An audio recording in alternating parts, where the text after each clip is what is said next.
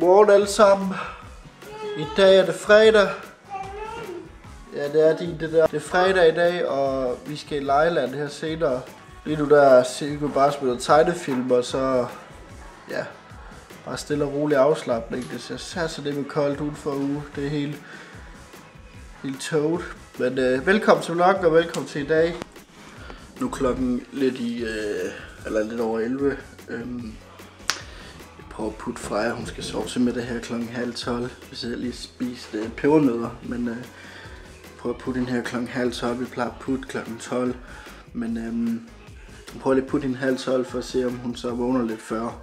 Efter vi har sovet til middag, så blev vi hentet her, når min kusine hun får fri på skole, og så bliver vi hentet, og så kører vi over til Lejlandet øh, derefter. Så ja, vi blev hentet her. Øh, det ved cirka to tiden, lidt over to. Så jeg har lige pakket øh, alt det, vi skal have med. Det er bare blære og noget ekstra tøj og sådan noget til mig. Øhm, ikke til Freja, bare til mig. Jeg vil virkelig gerne kunne tage det her overskæg af, fordi det er simpelthen blevet så fucking langt.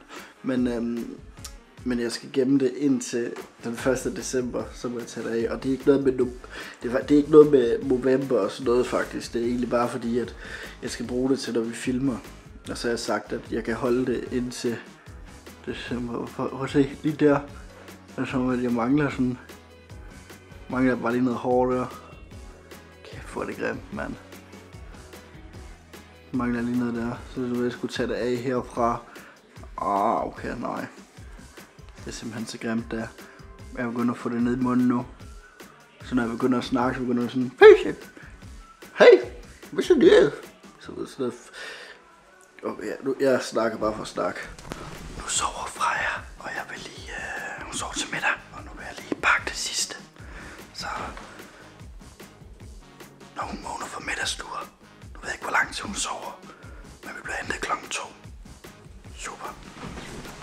Så vi må ikke håbe, hun sover længere end det. Men det tror jeg ikke, hun gør.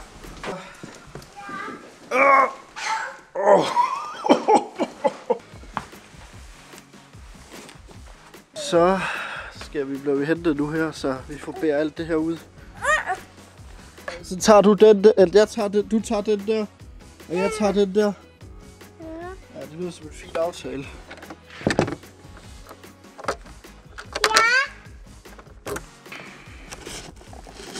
Er du med?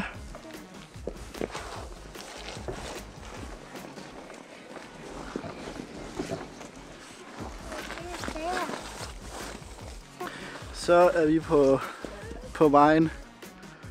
Er det besværligt det der, eller hvad? Så er vi på vej.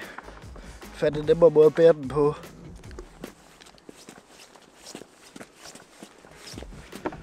Det er altid godt med sådan noget oh, børnearbejde. Oh. Klokken er halv 10. Og der er gået et par timer siden I så sidst. Jeg har gået et par stykker i hvert fald. Vi har været i Lejland. Vi kom hjem, har spist. Freja sover nu. Jeg har lige sovet 20 minutter. Jeg vil have, jeg vil have lavet noget Q&A eller en form, men jeg kan simpelthen ikke finde nogen spørgsmål.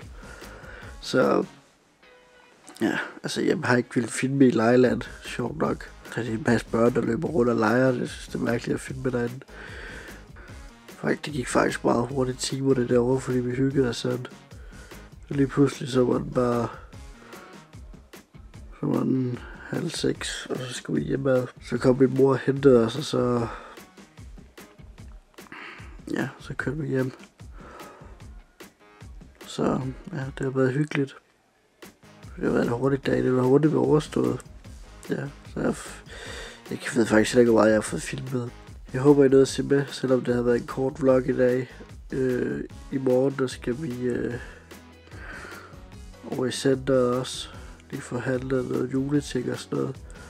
Men øh, ja, det får vi at se til i morgen. Jeg håber, I nåede at se med, selvom det var en kort, kort vlog. Og så ses vi i morgen. Hej hej.